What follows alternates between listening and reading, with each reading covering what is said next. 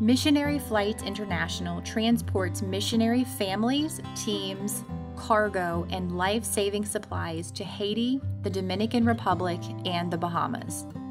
With God's leading, Don Belden founded missionary flights from his dreams as a young man who realized the need and potential of aircraft and mission work. In over 56 years, the Lord has led missionary flights from a one man, one plane operation in West Palm Beach, Florida, to become a 20 person staff operation with over 50 monthly volunteers, two Douglas DC 3 aircraft, a Cessna 310 airplane, and operating out of two hangars in Fort Pierce, Florida. Missionary Flight's motto, Standing in the Gap, is taken out of Ezekiel chapter 22, verse 30. The Lord says to the prophet Ezekiel, I sought for a man among them who would make up a hedge and stand in the gap before me. As we share some of the work that we have been involved in over the last year, God's leading will be evident. We serve over 500 Christian nonprofit organizations and our relationships with them are a daily reminder to us that we do more than just fly airplanes. It has been said by many of our affiliated missionaries that we are able to make their work more effective and more efficient. And, along with this great privilege to be a foundational support for missionary work, we know that it is you, our prayer warriors, and financial supporters that enable us to provide dependable service to those on the front lines sharing the gospel. We encourage you to give today and make an impact on missionary work for years to come. Missionary Flight saw a busy year in 2019 as we responded to riots and political unrest in Haiti, along with the disaster of Hurricane Dorian in the Bahamas. Most months of the year, missionary flights will make three to four flights a week to Haiti or the Dominican Republic, transporting missionaries and cargo.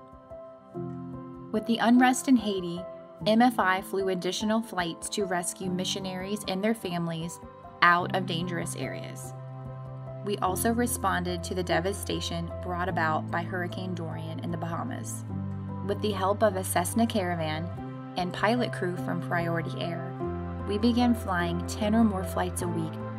The Missionary Flights hangar was turned into a full scale disaster relief operation, receiving and packing donated goods and coordinating an increase of volunteers arriving to sort donated items, pack boxes, and load airplanes.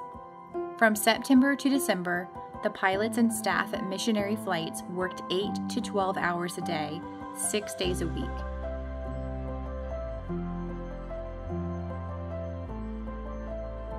For a better perspective on numbers, in 2019, MFI flew a total of 255 flights. Those flights included transportation of work teams, life saving medical supplies, and relief aid for disasters. But most importantly, the wings of our DC 3 carried messengers of the gospel to share the light and love of Jesus Christ. MFI flew 4,445 passengers between Haiti, the Dominican Republic, and the Bahamas. Some of those were families escaping violence, while others included teenagers experiencing missionary work for the first time overseas.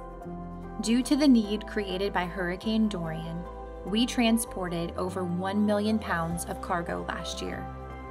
Items such as backpacks, tents, building supplies, hospital beds, and Bibles.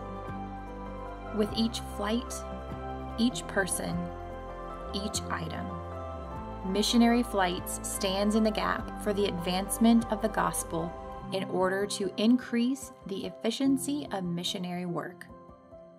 To our partners, both financially and in prayer, thank you for making the following stories possible.